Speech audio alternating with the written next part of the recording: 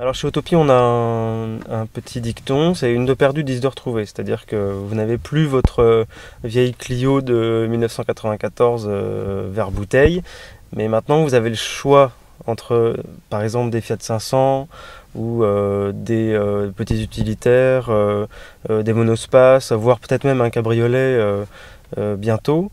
et des voitures de qualité, donc des voitures qui n'auront jamais plus de 36 mois et qui seront toujours entretenues.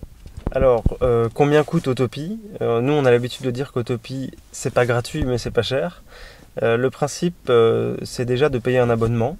Alors, on a quatre formules à, disposition selon que l'on va être un utilisateur plutôt occasionnel ou plutôt régulier.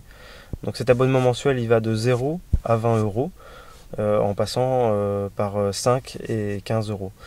Une fois qu'on a payé son abonnement, on va payer à l'utilisation du véhicule donc à l'heure et au kilomètre. Et en moyenne, on est à 1,50€ de l'heure et 30 centimes du kilomètre.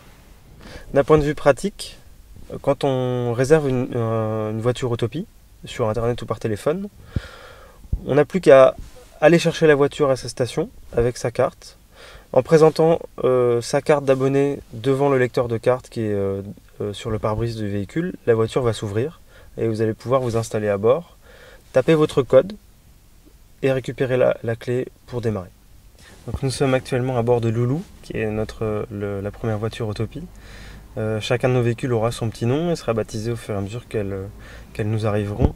Euh, l'idée chez Autopie, c'est que euh, nos abonnés puissent s'approprier ces, véhicules, mais c'est aussi une facilité pour ces abonnés de distinguer une Fiat 500 rouge d'une autre Fiat 500 rouge qui seront peut-être à proximité dans une rue ou dans une ville.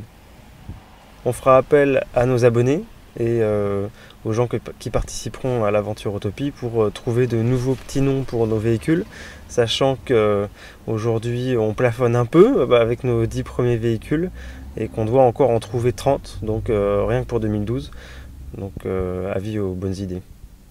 Un service comme autopartage, une voiture en autopartage devrait c'est ce qu'on remarque sur les autres villes, 23 villes en France, mais des villes plus grandes que Metz, hein, Nantes, Bordeaux, etc.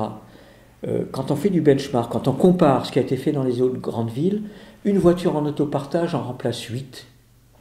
Et si, c'est l'objectif qu'on s'est donné à Metz, si l'objectif de l'autopartage est de remplacer 1% du parc de véhicules messins, je parle pour Metz, ville de Metz, c'est 54 000 voitures intramuros, si on remplace 1% du parc automobile, c'est 540, divisé par 8, puisqu'on doit, on veut, on tente de remplacer 8 véhicules, ça veut dire que sur Metz, si le dispositif pour 1% euh, fonctionne bien, c'est 70 véhicules.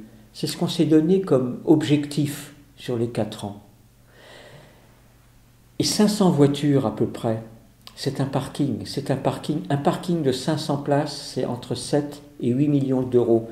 Si vous rapprochez l'engagement d'argent public, 41 000 euros et 7 millions d'euros, vous voyez bien que c'est à la fois un montage financier tout à fait intéressant pour les finances de Metz et à la fois tout à fait intéressant pour l'usage, pour le messin. On est là pour faciliter la vie des, des messins, mais on est là aussi, nous élus, pour être très rigoureux dans les finances, puisque c'est de l'impôt au bout du compte.